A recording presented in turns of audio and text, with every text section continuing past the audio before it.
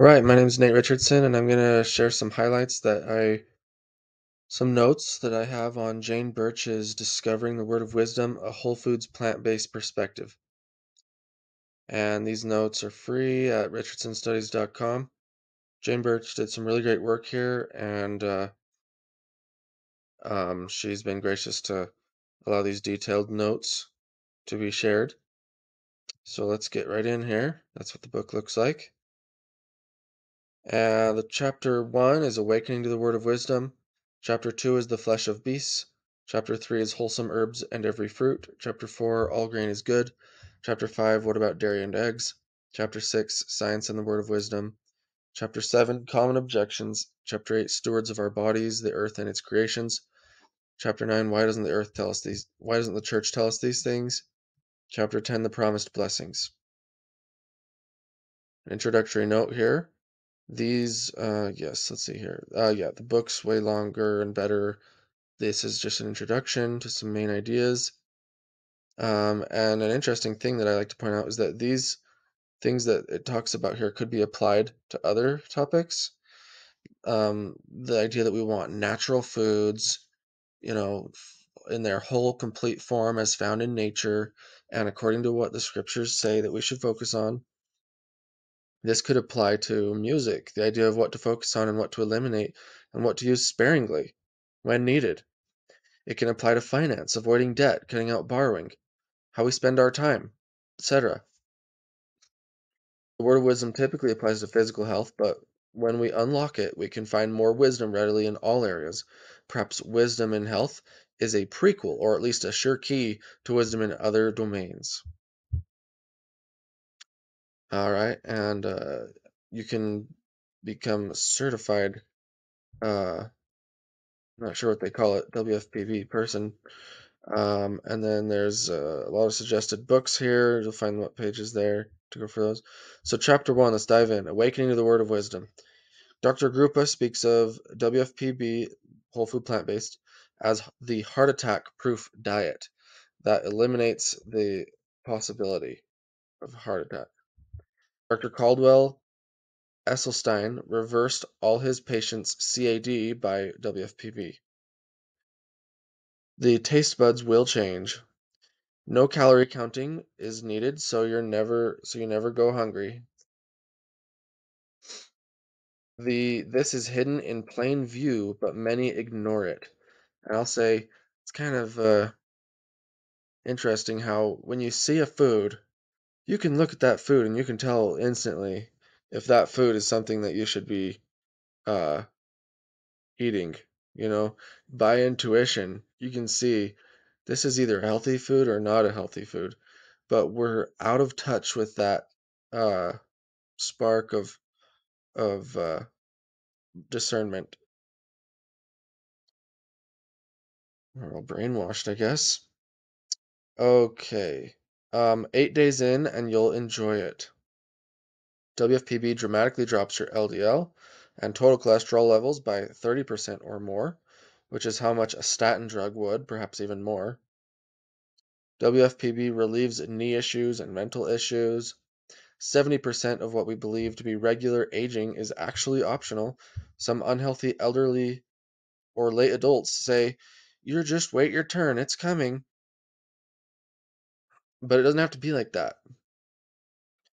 Uh, suggest the Forks Over Knives documentary. Okay, chapter 2 The Flesh of Beasts. The D&C, our most current revelation on health, says use meat in winter or famine to save your lives. We don't have those right now. We have the year-round groceries. We have the, you know, the abundance. Plants can, unlike animals, synthesize organic materials from minerals air, sunlight. Thus, they are the true source of nutrients. For example, the cow doesn't make protein, it eats it, and we drink milk and we get it secondhand. More than enough, uh, there's more than enough protein in your WFPB, over 10% of calories. And uh, something that I found out not long ago is that every single whole food has all three protein, fat, and carbohydrate. Even a carrot it has protein, it has fat. Obviously, it's a carbohydrate mainly, but all these natural foods, they have all three. So if you're if you're basically just eating plants and grains, you know, you're still getting you're getting all three food groups. The D&C says plants for nature and constitution of man, they should be the core. Use meat as a backup source, not a primary. Disadvantages of meat, which don't apply to plants, include too much cholesterol, too much protein, too much fat, wrong type of fat, too few essential nutrients, too much of some nutrients, no phytochemicals, no fiber, too many hormones and antibiotics, and pesticides. Yeah.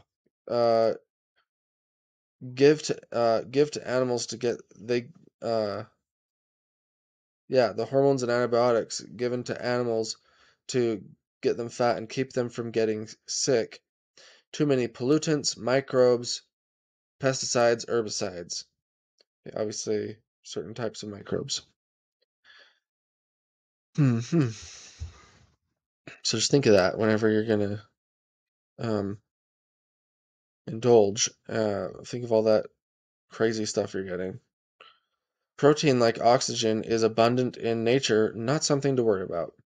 And what should you worry about? Uh, fiber. That's what people should be worrying about, is getting their fiber.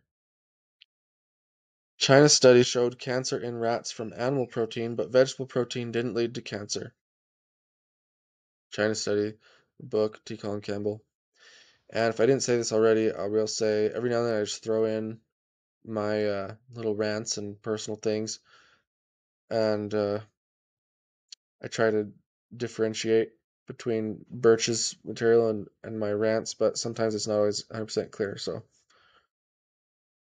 it's part of why I have the text here.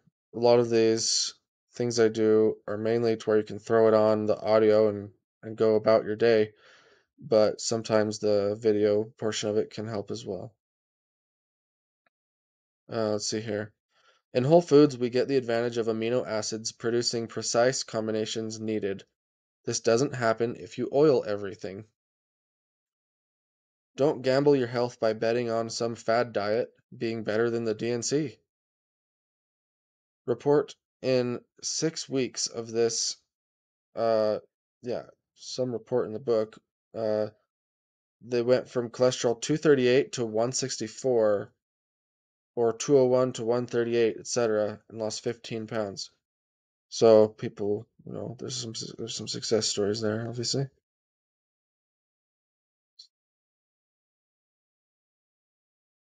Hmm. Okay.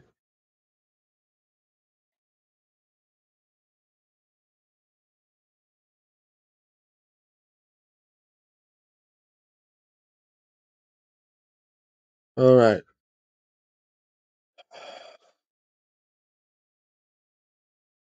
Uh, let's see here. Calorie for calorie, broccoli has more protein than a steak. Chapter 3 Wholesome Herbs and Every Fruit. Whole foods have many phytochemicals like alkaloids, carotenoids, flavonoids, isoflavones, organosulfides, phenolic acids, phytosterols, saponins, etc. Even many not yet discovered. And it's this idea that the apple is this extremely complex thing that we don't even um, really understand. And when we want to take these nat- nature foods and do them our own way, or isolate vitamins in a pill, you're just missing out on probably you know 90% of the of the intended benefits. And it's what's crazy is um, uh, people who do this they uh you know the the excess fat falls away almost effortlessly and uh you know a big point here is that it's not just a vegan diet it's a healthy diet. Yeah you're getting rid of your animal products because you don't need those and they're usually trash but you're also not having the synthetic white flours and the you know the synthetic sugars and the processed foods. Phytochemicals in a whole food work together in a symbiotic way. Nutrition is a young science, we are just scratching the surface. we can't really improve on God's creation by our supplements. Just eat the food as found in nature. D&C says to eat wholesome plants. That also suggests seeking a whole form, not an oil form or refined or other ways. Yeah. Uh, real food is alive and should eventually die. Preservatives thus aren't good and sap much nutrition. D&C also speaks of using food in the season thereof. Mhm. Modern foods are too concentrated. Same with cocaine. The leaves aren't addictive, it's the concentration it's sold in. Is that my daughter's voice now? Hold on, let me finish this, okay? Okay. Okay, go upstairs. Modern foods are too concentrated. Uh, the same with cocaine. The leaves aren't addictive, it's the concentration it's sold in. Eat naturally, and you can avoid addictions common in the standard American diet.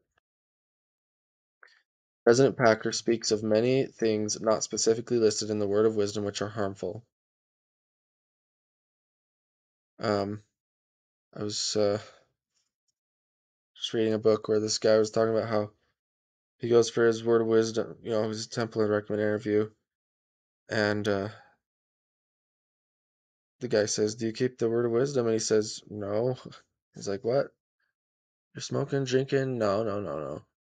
He says, "I'm eating meat in the summertime, and uh, uh, not getting a lot of fresh fruits and vegetables and exercising." And uh, of course, we're pretty casual on on these things. Okay, yeah, it's it's crazy because when you're only doing the don'ts of the word of wisdom, you're missing out the major blessings of the word of wisdom that it's intended to have. Um, I heard someone recently say, makes a lot of sense, that only the wise follow the word of wisdom. And then, uh,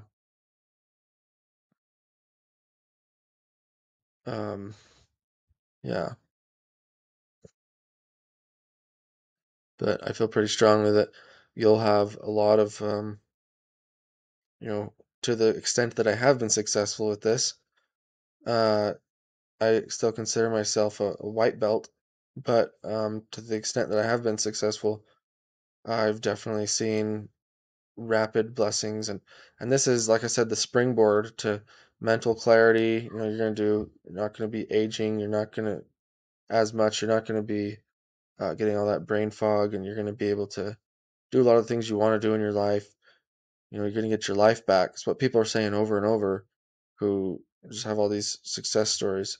There's that uh, from from donuts to potatoes book, where this lady just she's like, I got my life back. Like it was like a dream. Like how did I go so long? And then you hear people, you know, another thing that's, you know, when you're in a exercise routine, it's like, hey, I'm, you do that, you know, exercise, and it's like, why do I convince myself that this is not good? Um, because you feel so much better after it. Um, I saw somebody had a funny shirt the other day. It said, "Runner's High still legal in all 50 states." Um, and one of my favorite comments about the word of wisdom, Joel Skousen, he says, uh, "How do we expect to run and not be weary and walk and not faint if we never walk and we never run?" So that's pretty good. And he's also really good about um, advocating that we got to, you know, just eliminate junk food, you know, and uh, it's just for you know, it's not, it's not right. And uh, another thing I like, Hugh Nibley, he says, you know, candy's for kids. You know, don't mess with it, and drink water is what he says. Um, it's kind of kind of crazy because every now and then you'll, uh, at least for me, I'll be all bogged down by all these ideas, um, of you know oh, justifications, this and that, and this and that. But then I'll hear this example of somebody or a friend um, or something to where, you know, who's actually living the word of wisdom like excellently. And it's like you hear their stories, and it's just like, yeah, obvious. It's so obvious. That's what I need to do. And uh, and then you try it, and you have extreme success. Unfortunately, um, the devil keeps keeps knocking, and it's hard to sometimes when you're, you know, it's hard to avoid that. So let's get back into this here. Um, let's see. Refined plants and oils have way more calories than whole food, the whole food version. For example, one cup of sweet corn is 130 calories and 10% fat. But two tablespoons of corn oil is 250 calories and 100% fat. Adding vegetable oil to a plant-based diet just adds unneeded calories. And something that I like that uh, I think it was John. Shh. Okay, I'm trying to record something. So can you go upstairs, please? Thanks. Okay, can you go upstairs, please? Thank you. Okay, it's all right. Uh, see. I think it was John McDougall who says the fat you eat is the fat you wear. And this isn't like an anti-fat fad. It's just saying that the whole foods already have plenty of fat in them. Okay. Let's see here. Um, eating fats, monosaturated like olive oil, leads to less cholesterol than bad fats, but both lead to CAD. Some things resolved by WFPB eating include UTI, acne, eczema, PMS, emotional issues. Um, and with the acne, really quick, that's a, you know, if you're eating oily stuff, that's the problem. It's not like from putting your hand on your face, like some people say. Um, it's get out all the heavy oils from your uh, grease and oils, and you're going to be a lot better off with that.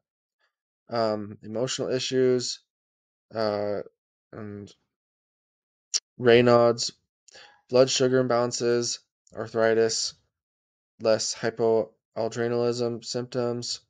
Um, and again, with the blood sugar stuff, well, what they're finding is that with the diabetes, your insulin uh, receptors are clogged with the fat. So then you eat your fruits and your your your blood sugar skyrockets.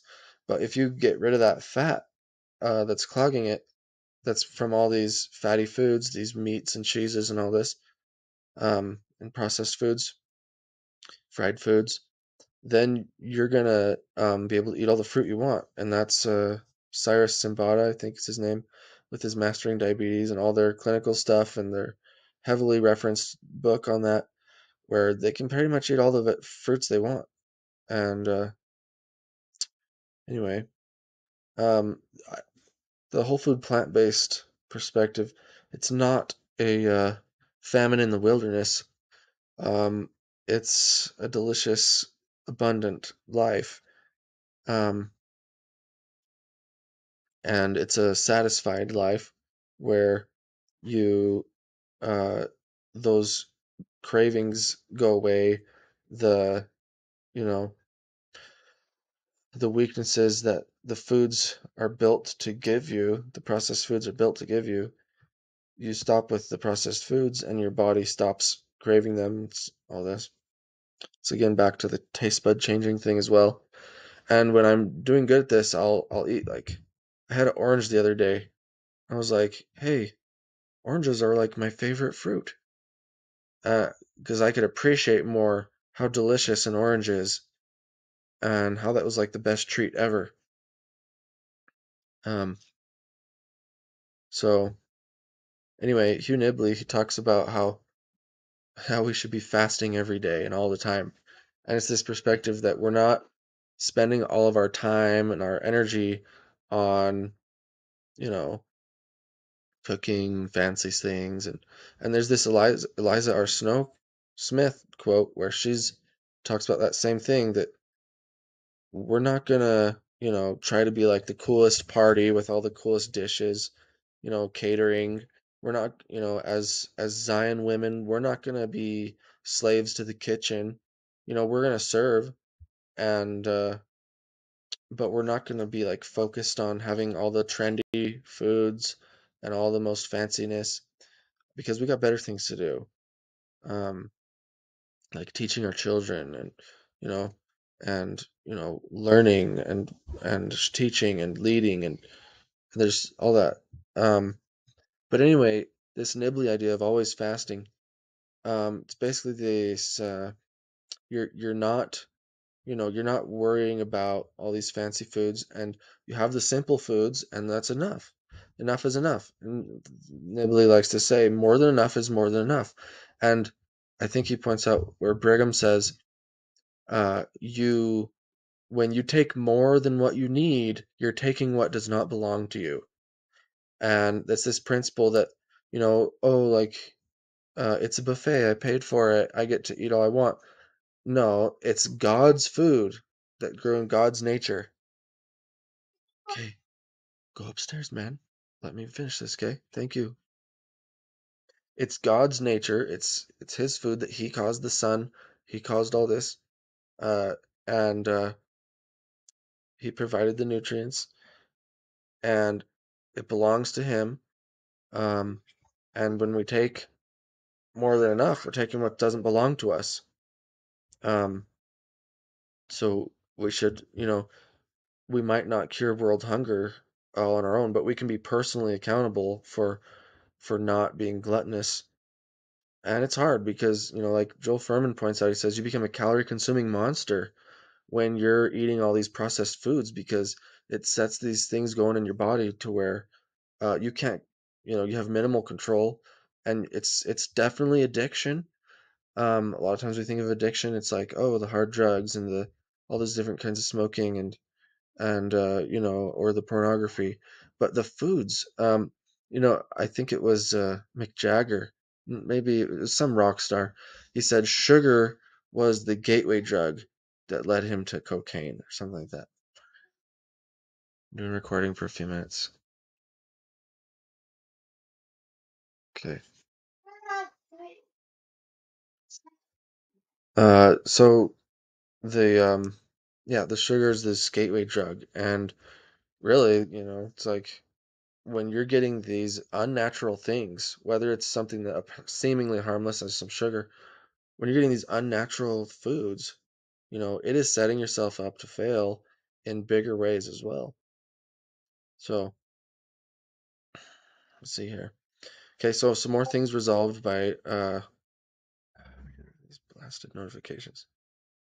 When you're um some things resolved by WFPB eating again, um, restoring your color in your cheeks, decreasing pain and weight.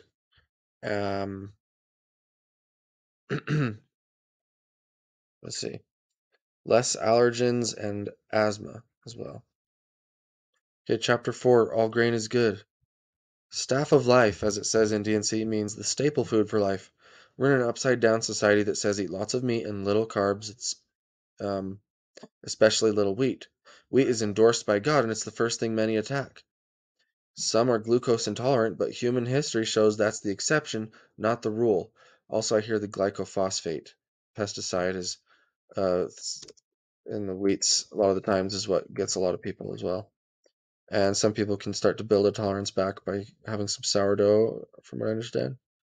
Anyway, um, something that you'll see is I as I make these presentations is my ignorance will shine through, and uh, I'm just, you know, I find a little bit of information and I share it. I don't claim to be an expert on everything, but I also don't claim I don't believe that we need to rely on, you know, just experts doing all the work. Uh, so I'll I'll find stuff and share what I find, and uh, it's okay if I don't understand everything, and if I'm not perfect at everything. Um, yeah, so wheat's under attack. Um, and I had a friend talking to me the other day at work, and he's a, a older guy, and he's in very pretty good health, and he was saying he'll just have some homemade bread, like some of that th- good old thick wheat bread, and boom, he's got energy for hours. And uh, to where he couldn't sleep at night, and then uh, and then the next day he was tired, so he took some more of the bread, and boom, he was good to go. Now there is something to the idea of having a small amount of bread to even help you go to sleep. But anyway, I wish there was somewhere you could buy this, you know, homemade bread. Of course, it wouldn't be homemade, but just that thick bread, you know, that um, and uh, anyway, it's from what I can tell, I haven't found it anywhere. So I'm trying to look into making bread more. Uh, six foods sustained life historically barley, corn, millet, potatoes, rice, wheat, getting a bulk of calories from starch. Eating starches like corn and potatoes helps us not take all day to get enough calories like it does for grazing cattle. Paleolithic people actually got most of their calories from carbs. Their ancestors were nearly vegetarian. Societies living on mainly animal foods are historically scarce and, ex- and are exceptions, not the norm. Yeah, and the fossil, the microfossils uh, demonstrating the, all the plants they're eating and all this. That's another thing. In China, before McDonald's and the American diet came there, they were the healthiest people. They ate mostly rice and noodles and veggies, and they lived the longest. The word of wisdom was given for our day when diseases, mostly from food intake. Back in Joseph Smith's time, most disease was communicable, spread from person to person, lack of hygiene, sterility, etc. But the word of wisdom was focused on helping us in our day when food choices are so vast. And of course, there's the war of philosophies of what's the best. And it kind of breaks my heart when I see people who, you know, they do the keto and they do the Atkins and the South Beach and and you know, oh hey, I lost all this weight, but yeah, then I gained it all back plus some. And it's like, okay, well, you just lost a bunch of muscle mass and gained it back as fat, and you're setting yourself up for heart failure. The heart was not meant to live on ketosis and and no um, carbohydrates. Um, when you cut out, you know, there's right the macronutrients, protein, fat, and carbohydrate, and if you get rid of one of those three, you're die. You know, like disease and then death. Um, but in a plant-based diet, you're you're not cutting out protein, you're getting it from more natural sources. Um, yeah. But anyway, what I'm saying is it's it's sad when you see people in the church particularly who do the, you know, the the, you know, the meat diets because it's like we have revelation that says that's not the way and it's a philosophy of man that uh, that that's the way to go. Now, yeah, they can lose a lot of weight sometimes because, um, well, for one, there's the whole ketosis thing, which isn't sustainable. Um, but for two, a lot of times they're cutting out all the junky processed breads. Like, yeah, nobody should be eating that. Nobody should be eating donuts. Nobody should be eating, you know, all this kind of nonsense. Uh, you know, even your typical white bread uh, or your white rice. Like get the brown rice. eh, Like the old saying, the whiter the bread, the sooner you're dead. Um, so a lot of times when people go keto, they're cutting out a lot of the stuff that they should have cut out. And sometimes they add in, you know, sometimes they'll eat more salad, and that's always going to help.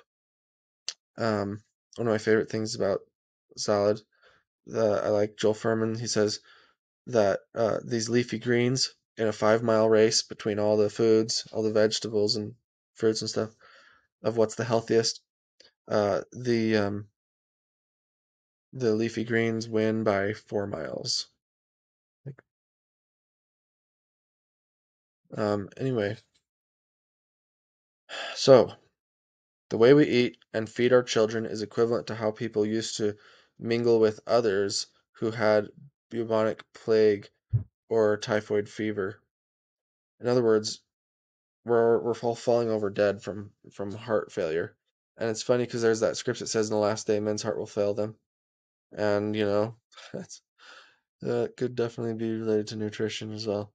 And of course, we're getting a lot of these mental problems where uh um you know, this is going on uh, from from the nutrition. And if that's a hard pill for you to swallow, you got to get in and learn more about this because it's just a fact. Uh, and I've heard of a story where at a prison they fed the inmates like beans and like soup or something, and um, and they all the the behavior problems at the prison like went down fifty percent or something. So anyway, um, I've seen it at some facilities where they just give these kids the nastiest foods. It's the same with hospitals. It's like all this fried food for breakfast and like uh, like Joel Fuhrman says, it's cake for breakfast, cake for lunch, and cake for dinner. It's like crazy. You know, we have the pancake and then we have the the, you know, uh whatever. Uh the pizza cake and the you know, the uh all kinds of craziness. But uh there's definitely so much nutritional ignorance. Just um so and kids will be more sassy and fussy and sickly for not uh on board with with true true nutrition. So let's go on here. Chronic diseases today are preventable, yet 1.7 million die from them every year. And that's right, chronic disease is preventable and reversible, I will say. Genes load the gun, but behavior pulls the trigger. Non communicable diseases, like ones that can be prevented by diet, are a leading factor of death now everywhere but Africa. But Africa is closely following suit. When we eat more calorically dense meat, we eat less of other stuff, i.e., stuff with nutrients like grain. And that's a big problem with with the with the meats and the dairies. Like, sure, you'll get plenty of protein and and uh, fats, but are you getting the phytonutrients? Are you getting the you know the vitamins and minerals? You're getting some, but not nearly as much as with um, your whole foods and plant foods. Food selection choices are highest today, more so than ever. Thus, the word of wisdom is key for our time. 90% of turkey has disease causing organisms, which are resistant to antibiotics. Uh, many antibiotics are becoming ineffective for humans because they're used, used so much on animals. We should instead focus on keeping antibiotics vital for when we need them and not waste them on animals. We get resistant when it's introduced to animal or human, so shift the focus away from animal eating. 23,000 die per year from antibiotic resistant infections, more than die from HIV/AIDS. Even being 10 pounds overweight makes you functionally much weaker. You can't be middle ground on this. And there's, I think it was uh, a BMI of 21 is the average of the longest living peoples, not this 23 and 25 stuff that, that people say is normal. And uh, I'm pretty sure Fuhrman points that out. So, um, I had a I had a friend recently that uh, was talking about her grandma, um, uh, who was doing this raw diet, just like blending her vegetables and just eating that all the time, and and like my friend's like, hey, is this is she okay? Like she lost a ton of weight and and she's really active now and and and energetic and and I'm like, yeah, yeah, she's fine. like that's what we should all be doing, right? Now, of course, you can't just do the blended, um, you know, the three, you know, veggie blends a day. You you need to mix in some healthy grains and nuts and seeds as you go. But in the, um, you know, in the documentary, uh, I don't remember what it's called. Uh, anyway, this guy who does the the veggie uh blends three times a day, and that's what he eats for like 60 days, and he like loses 100 pounds or something, or I don't remember the span, but I think he doubled it and did it longer and stuff. He's a really healthy guy now. And anyway, Joel Fuhrman was his consulting doctor in that, so um, it's uh, pretty solid. That yeah, don't worry. If that's what you're doing, like more power to you, and that's you know you're you're gonna be doing yourself a favor. Um, you know, juice cleanses is good stuff. And Joel Fuhrman has a book on fasting for health, curing diseases with fasting. You can do a water fast. You can easily do a seven day water fast. You can even do a 21 day. You'll probably want to be in touch with your doctor. People have even done a couple months, and that uh, definitely need doctor on board for that. But uh, you know, I I did a I think I did a three day water fast as much as I've done at this point, but it's not. Uh, and they say after you know after that it gets a lot easier and stuff, but it's it's not quite as horrifying as as folks make it out to be. And then, like Nibley said, always be fasting. So it's like you get you can get used to this life where you're you're actually eating a more normal uh, amount of food, and it's not as crazy. Um, when you're eating the excessive food constantly and junk food constantly, fasting is this big scary thing.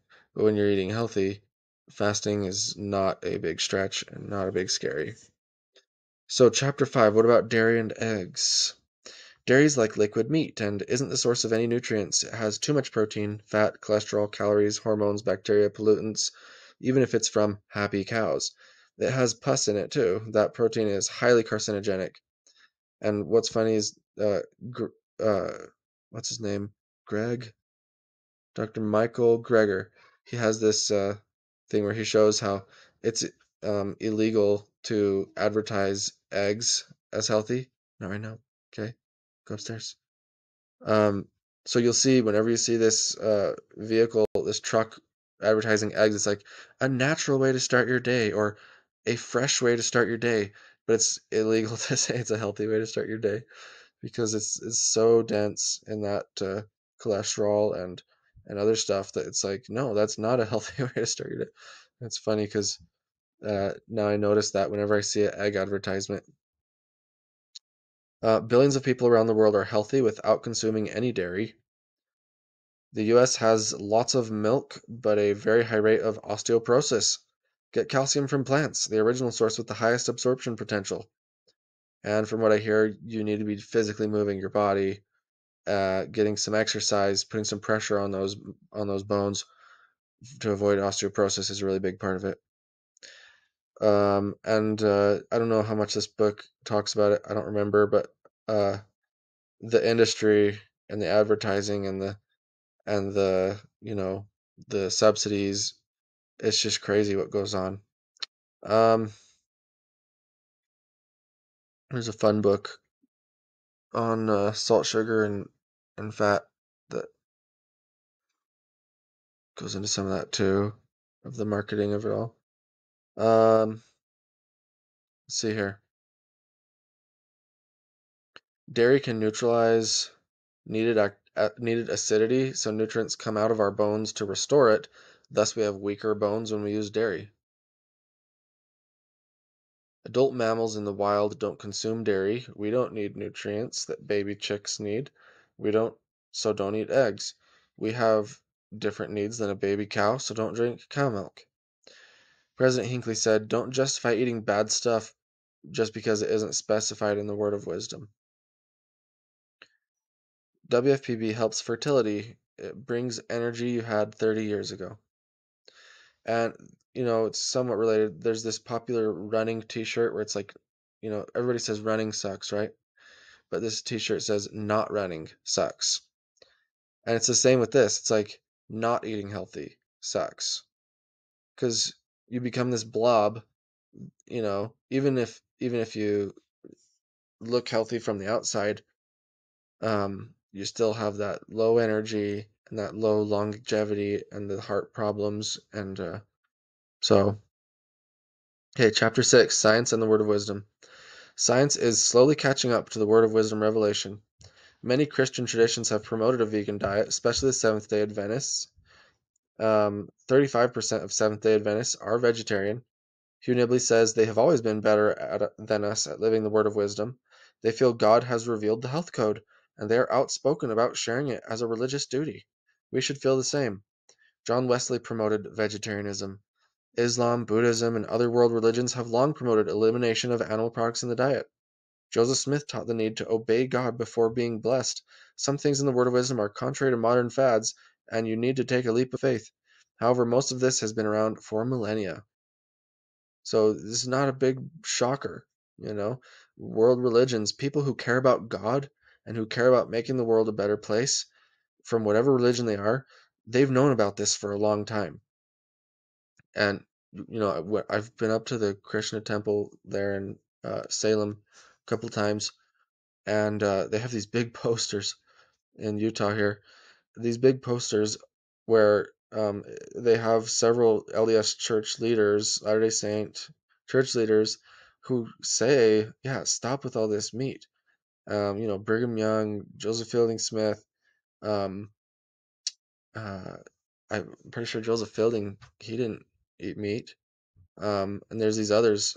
Uh, um,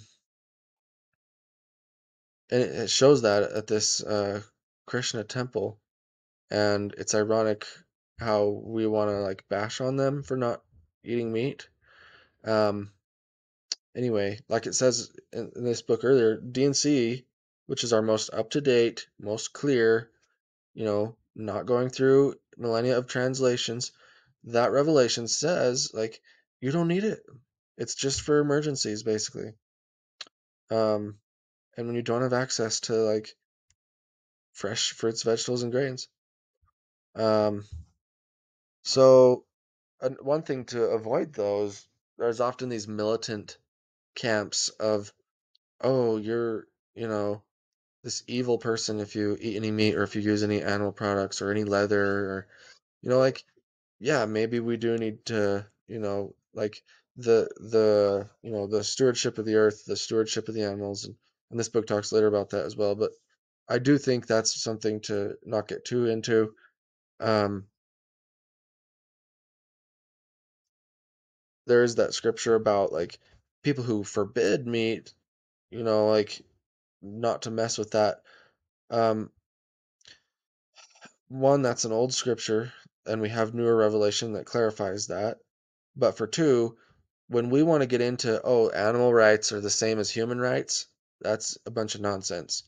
Animals were made by God for people, and um, you know, if you are going to use uh, dairy, like try to get it from your own animals, or you know, take care of the animals, like be a good steward, um, and uh,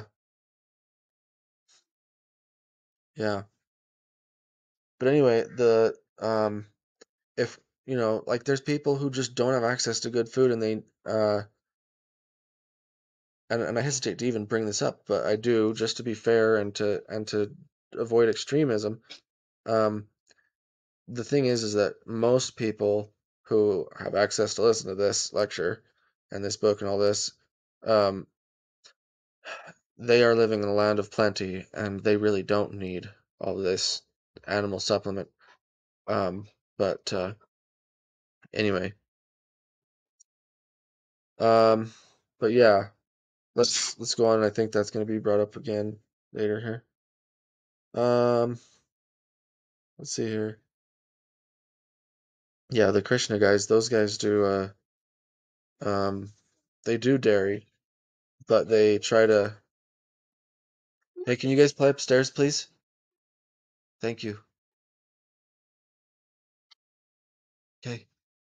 All right. Go play upstairs so I can finish what I'm doing. Okay? I'll talk to you soon. Uh yeah, they'll you know, their thing is like, hey, we help the animals, they help us. Um, but anyway, from from the science that I'm aware of, the people who uh, who you know, the more the, of the animal products they eliminate, the healthier they are, and that's the big point here. Um, and and at least we can say a dramatic reduction needs to take place. Um, for ourselves, for the animals, for everything. Uh, my main interest in the word of wisdom is the is personal health. Again, I'm not one of those people who you know is gonna jump in front of a of a train to help help save a turkey or something like that. Um, anyway, we have uh, more science now, but unhealthy people. Science doesn't equal wisdom. We always interpret the word of wisdom through contemporary science. For example, scientist and apostle John Widtsoe spoke of using meat very sparingly and even suggested eliminating animal products from the diet. He spoke of the need to heed the positives as much as the negatives of the word of wisdom, the do's, not just the don'ts. He says church members aren't living up to this. He speaks of how vegetarians have often excelled in sports, and how meat proteins are more expensive and wasteful, and how all we need is found in vegetarianism. And of course, check out the documentary Game Changers um, on that. In the Korean War, the autopsies showed the Koreans were healthy, and the Americans, eating lots of meat, were all predisposed for atherosclerosis. Um, and something that's a little bit related is I just reviewed some of my Hugh Nibley notes, and he talks about how in World War One, the soldiers had Bibles in their pockets. In World War II, they had rabbit's foot in their pockets and luck charms and all this. And he, the point he was making is we'd forgot about God, you know, and we don't care about God anymore. And when we don't listen to the word of wisdom, you know, the scripture, the religious message on how to eat, you know, like we're up a creek without a paddle. Get 10% of calories from fat, 10% from protein, 80% from complex carbs. Avoid irreversible diabetes related nerve damage by catching your health early on as possible. But yes, you can reverse diabetes with this, and many have. All right, chapter 7 Common Objections. It takes money to promote a message, and drug companies and dairy companies don't earn money by promoting whole food plant based. That's why you aren't taught this as much in schools, TV, etc. Food executives call marketing unprocessed food a fool's game. The D&C warns us of conspiring people. This certainly applies to food companies today who will do whatever they can to get money, intentionally making foods in addictive combinations. Uh, yeah, secret combinations, right? What's in your food? It's a secret combination. Figure out how to get rid of that thing. We ignore healthy food when unhealthy is present. A rat will die of starvation when offered both food and cocaine regularly. That's this idea that you can't just let your kids choose. You have to promote you have to give them healthy choices. You can't, you know, give them the choice of of bad versus good. Give them the choice of good versus good. Um uh, fake food leads to loss of regular self-control. Remember Joel Fuhrman's calorie consuming monster. We don't have these overpowering cravings if we detoxify our bodies. We eat unnaturally rich foods, as mentioned earlier. Your taste buds uh, will adapt to what you give them within a short period of time. Junk food leads to a loss of the ability in our biological feedback systems, with leptin, etc., to tell when we are full. Here are some myths. 1. We need meat for adequate protein. 2. Eggs are an ideal protein. 3. Milk is good for our bones. 4. Carbs are dangerous. 5. We need more healthy fats in our diet. 6. Olive oil, fish oil, coconut oil are health foods. 7. It can't be wrong if everyone's doing it. 8. If something is labeled natural, it's good for you. 9. Junk food is fun, popular, and will make you happy. 10. Eating whatever foods you find delicious is part of living the good life. 11. Serving people rich, scrumptious foods shows you love them. So there's 11 myths. 11 food myths.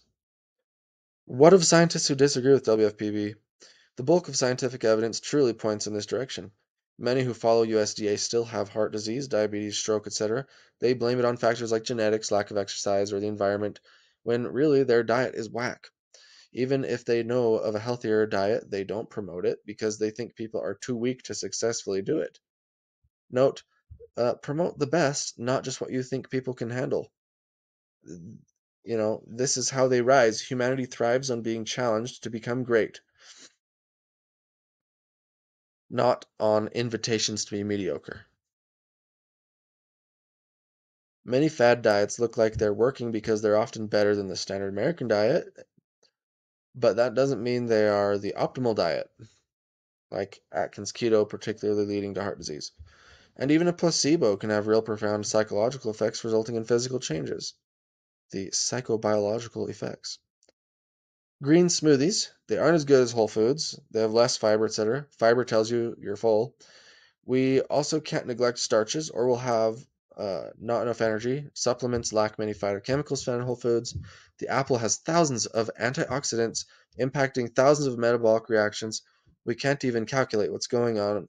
Almost every chemical affects another chemical, and almost infinite number of biological consequences when we take things and change them from their natural state. Did they have a Vitamix 200 years ago? No, yet they were healthy.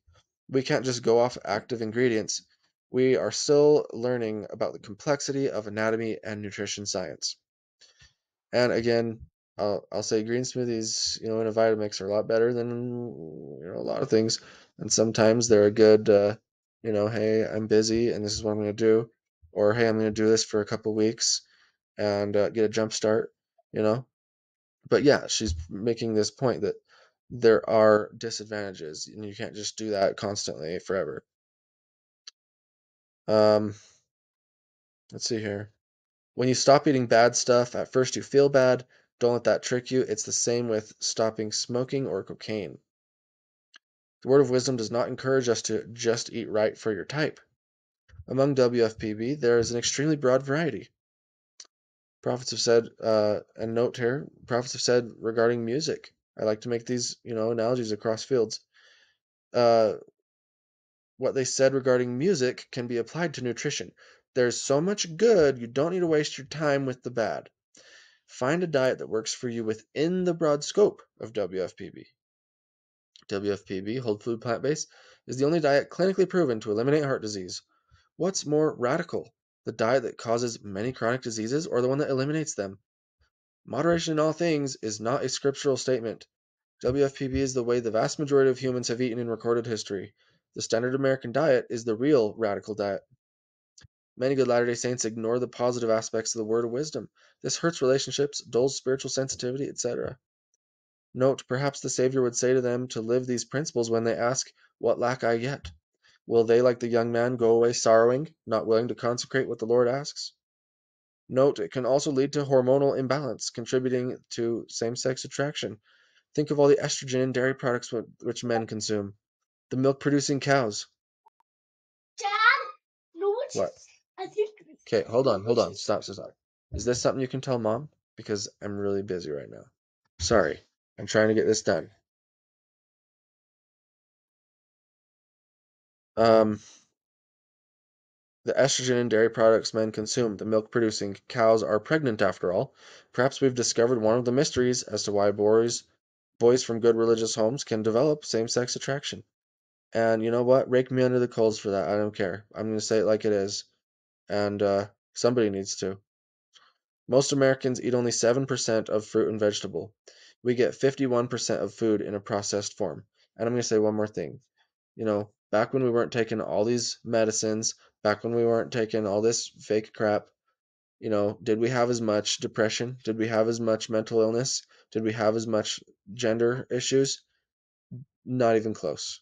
So the connection between healthy eating, you know, the word of wisdom, and many spiritually dangerous problems today is a real connection. The word of wisdom is not some temporal thing. It is a spiritual commandment. The D&C says there is no such thing as spiritual temporal. It's one and the same. Okay, let's see here. Most Americans eat only 7% fruit and vegetable. We get 51% of food in a processed form. WFPB eliminates virtually all of the top 10 sources of calories in the American diet as identified by the USDA. Soda pop, cake, pastries, hamburgers, pizza, potato chips, white rice, white bread, cheese, beer, french fries. The D&C says the word of wisdom is adapted to the weakest of saints, so we know this can be done. Many people give things up, as seen in converts giving up tea, coffee, alcohol, etc., which they thought would be impossible, to be baptized. Uh, note, then the Holy Ghost helps them even more after baptism. Similarly, we can give up meat, dairy, processed foods, etc. And note, will this not bring an increase of the Holy Ghost and thus more power to make good choices? Will it not make sin less appealing? Many are so excited about the new life ahead that they don't even experience withdrawals. Does a butterfly miss being a caterpillar? Uh, note, choose to eat WFPB and be firm in your resolve, then you don't have to waste time debating the weaker side of your character and devils, which are very good debaters.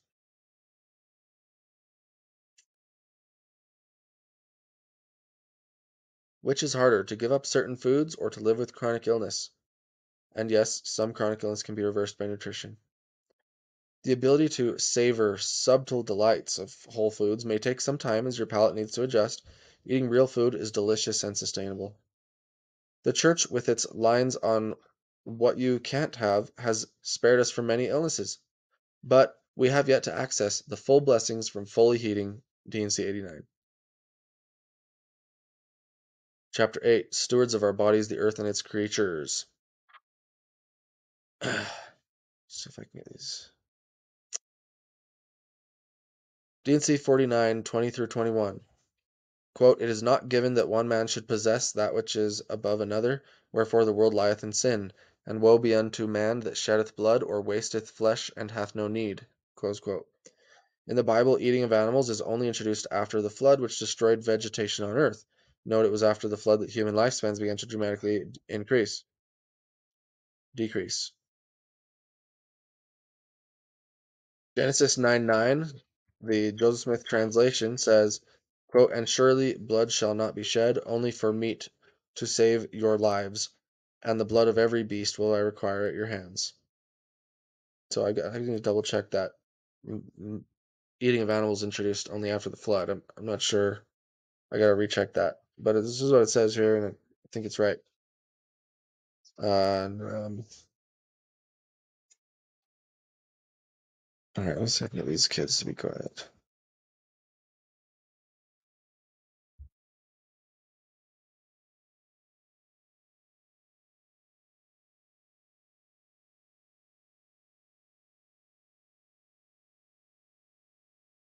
Okay, meat may be ordained for our use, but not for our abuse.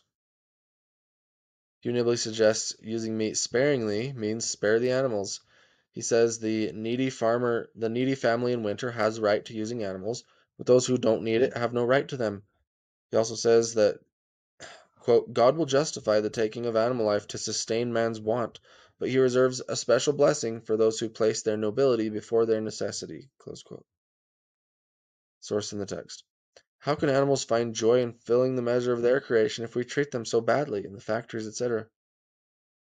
Using animal meats results in much more water than farming. It also creates more greenhouse gases than all the transportation. We could uh, much more easily give up dairy than give up transportation. Livestock industry leads in deforestation and reduction of biodiversity. An anthropogenic user of land. They make 130 times more waste than humans, leading to widespread pollution of land and water. The earth can produce enough for everyone's need, but not for everyone's greed. Brigham Young spoke of our savage nature going away as we use plants, not animals, for food. Joseph Smith had his fellow Zion's camp members not kill a snake among them, but encourage them to become tame so the animals could follow suit. And again, all the references to this are in the text and full quotes. George Q. Cannon speaks of an increased spirit of God as we stop hurting animals and peace then re- uh, reigning on earth. And uh, you know, I'll something that I learned recently. Charles Darwin he comes up with evolution of species, and it's this antichrist movement that arises at the similar time of Joseph Smith, um, the books that led up to Darwin, and you know he reads the uh, all these, and uh, Darwin was this guy who like killed animals, he beat animals for pleasure, like he's this twisted dude. So like I just want to throw that out there. Um, I despise evolutionary theory. I think it's a criminal that it's being taught in religious schools. Um, 99% of all schools teach it. Um, and uh, it's a tragedy. And it's one of my big focuses of my research and teaching. Um, Heber C. Kimball wrote of not hurting animals but respecting that they too have life the same as we do, and that the animals are doing their job, so should we do ours. Lorenzo Snow says the animals we kill unnecessarily may rise up someday and condemn us. And that's a big uh, big theme in the Krishna uh, the Hindu folks, they'll they'll show these pictures where there's this human with a cow with an ox head, and there's this cow with a human head, and this guy's got this axe, and this human with this cow with the human head is like, oh no, and uh, you know. So Joseph F. Smith said the love of nature is akin to the love of God. More reports show WFPB can cure bipolar, sleep apnea, skin problems like boils and rashes. Hey, you need to talk to mom because I have to finish this, okay? Sorry, I'm almost done. Okay? I can't help you right now. Please go upstairs. We can talk when I'm done, yes. Okay? But not right now. You'll have to talk to me about that later because I'm busy. Okay. Whole food plant based can cure bipolar, sleep apnea, skin problems like boils and rashes, depression, panic attacks, reflux, eyesight, hearing, common sicknesses, and rarely getting sick. Uh, headaches, blood pressure, faster recovery when you do get sick, decreased anxiety, etc. Chapter 9 Why doesn't the church tell us these things? D&C says it's not by commandment or restraint. Heber J. Grant says some of the sweetest saints he knew disobeyed the word of wisdom. Very noble, uh, some very noble people are yet not necessarily the healthiest. And I'll just throw in a, a side note here that uh, consider Thomas S. Monson a mighty prophet, obviously one of the most spiritual, righteous people ever. His biography shows they ate a lot of meat growing up in his home, and later in his life he was known for having very bad diabetes. The Lord sustained and prolonged his health, but it was still a great hindrance to him and perhaps shortened his life. And remember, all you guys were freaking out about me connecting meat consumption to diabetes. Um, remember, the fat clogs the insulin receptors. Okay. Consider this uh, another side note here. Consider this positive example. George Albert Smith would bring a jar of wheat with him wherever he traveled, eating in members' homes, even. His escort would say, We are having stew for dinner. President Smith is having wheat. That is amazing courage. Historically, it's taken time for the word of wisdom to be understood in the church and adapted into policy, culture, etc. We learn line upon line as we're ready to receive it. Joseph Smith urged uh, being merciful more than exacting when it comes to this and other matters. Heber J. Grant tried preaching the word of wisdom, and few listened. After a sermon on it, members giving him dinner had the nerve to offer him tea and coffee. Grant showed the saints that they were spending more money on tea and coffee than they were on tithes. Grant says he was called a crank for his views on the word of wisdom, but said that he therefore expected to go on being a crank to the end.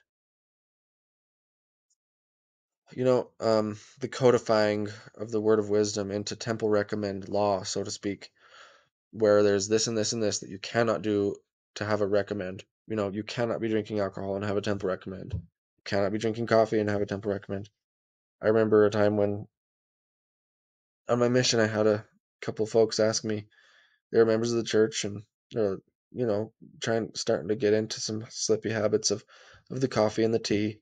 And they're like, Am I really not gonna go to heaven for not for, for you know, having the having some occasional coffee and tea? And you know, it's like, well no.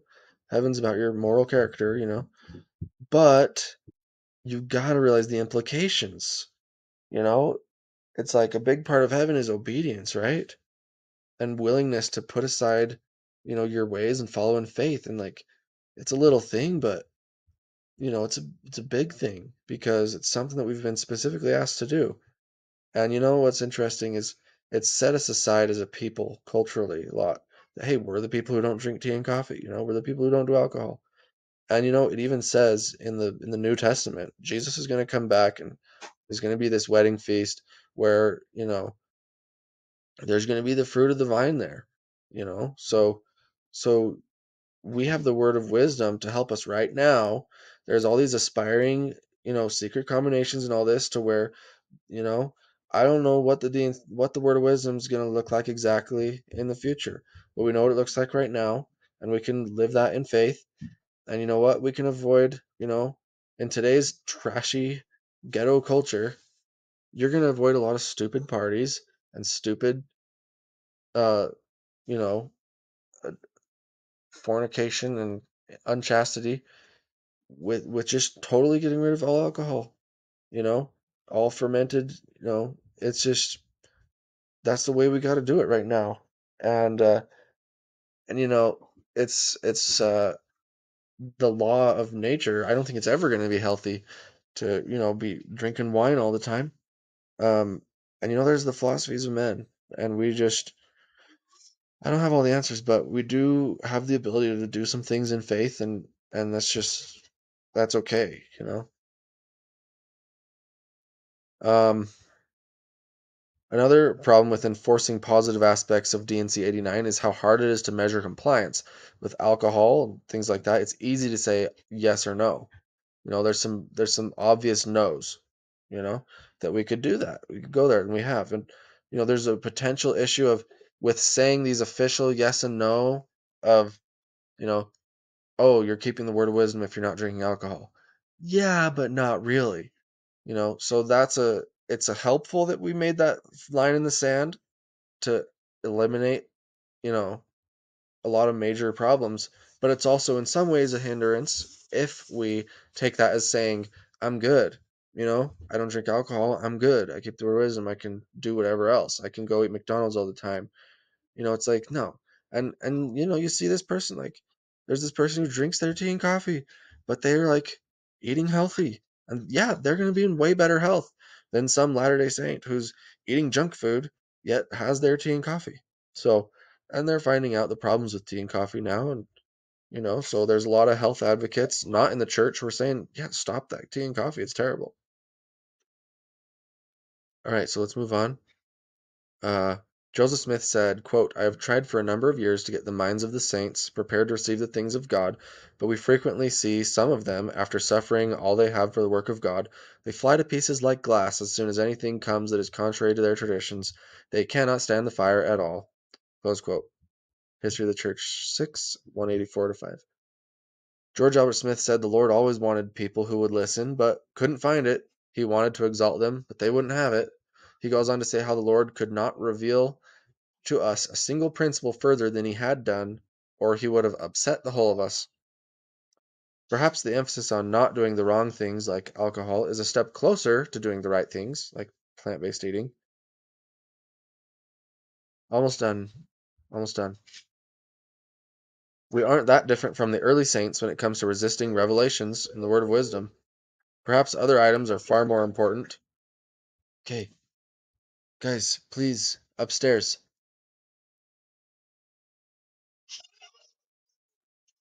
Okay. I've asked you to go upstairs and you're not listening.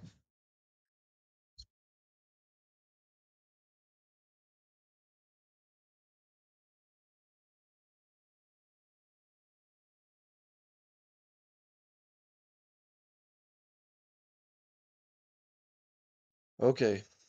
Perhaps other items are far more important, such as getting us to be baptized, keep the Sabbath, pray, not commit adultery, be honest, have charity, etc.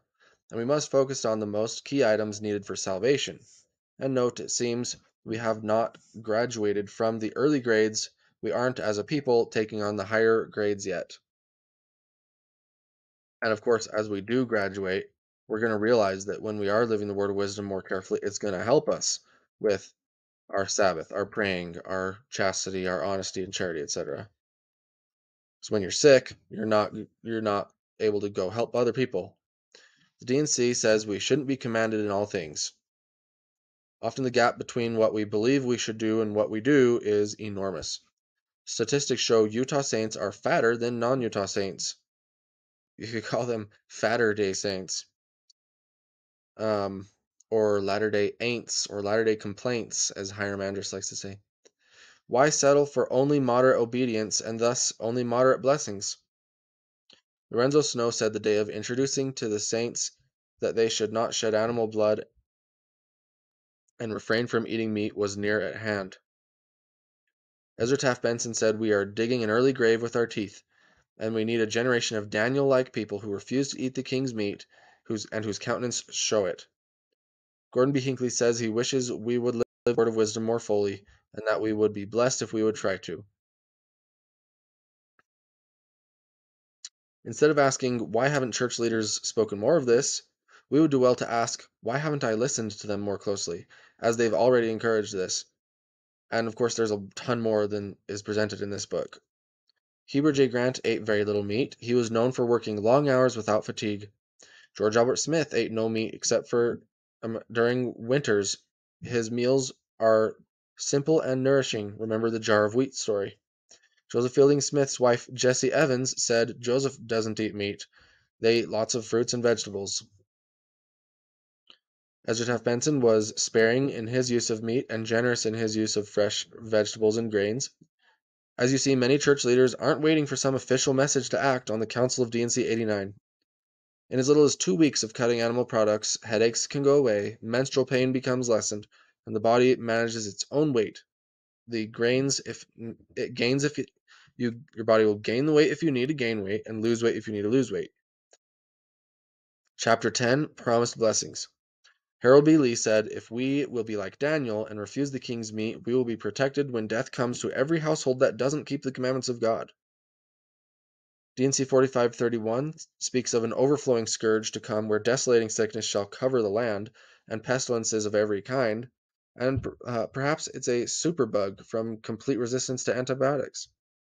George Q. Cannon says that when pestilence comes, many who are now careless about the word of wisdom will likely reform and pay attention to the counsels. He says we as a people are promised greater safety than other people, but that is predicated upon our obedience, and we shouldn't expect the blessing without obedience. Which reminds me of something that Elder Bednar put in a footnote of one of his General Conference talks recently that we should pray for more commandments to keep so that we can get more blessings. Because you can only get blessings when you obey uh, commandments. And if you're looking for more blessings and more commandments, here's a great place to start the Word of Wisdom. Boyd K. Packer taught the word of wisdom is a key to individual revelation. That's why this is so important, folks. It's bringing us closer to God, it's revealing the mind of God. For observant Jews, their dietary laws are, a Jewish author puts it, quote, a daily commitment in action to one's faith, a formal choice, a quiet self discipline.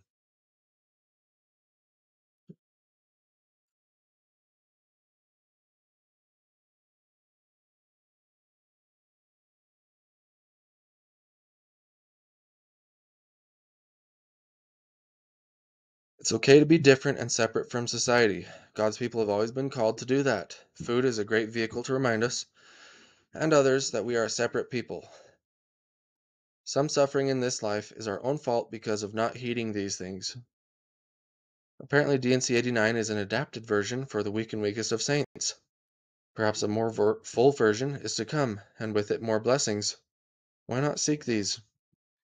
This brings up a good point that there are mysteries. There are there are mysteries. There are hidden things. There are higher laws. And it's not a sin to try to within reasonable parameters obey those higher laws. And it's a plain fact. And you know, Alma talks about it. Everybody talks about it. D&C talks about it. How w- the more good you do, the more you're going to have access to higher truth and knowledge about more good that you can do. And then the less good that you do, the less access you have to information uh, and power to do more good things.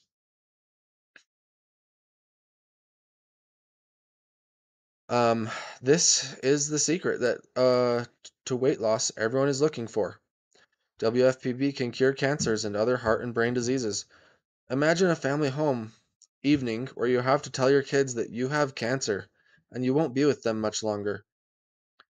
Is this not motivation enough to bring you to eating healthy, to adopt this the abundant evidences and, and spiritual admonitions to eat this more healthy way, this whole food plant based way? Gandhi says those who are vegetarian just for helping a health issue fall back. And to stay vegetarian, you need a moral basis. This is important. Um, yeah. Uh, um, there's some more guidelines in the appendixes. I'm going to wrap this up. Uh, this has been a great book, great study. this is this is the uh, cover of the book here. So go check it out. It's amazing. There's also a Facebook group, Discovering the Word of Wisdom, um, where there's a lot of support on this topic. So that's it. Um, this lecture, these notes, again, they're free at richardsonstudies.com. So welcome to get that resource, send it to your friends. This is a, you know, it's it's a short little thing, short little summary to maybe push people uh, into, you know, a small little looking into this where, you know, there's just not a lot of information on this out there that's uh, that's in bite size. Uh, there is the more you look, but hopefully this can help. And uh, thanks for thanks for participating with me in this. My name is Nate Richardson.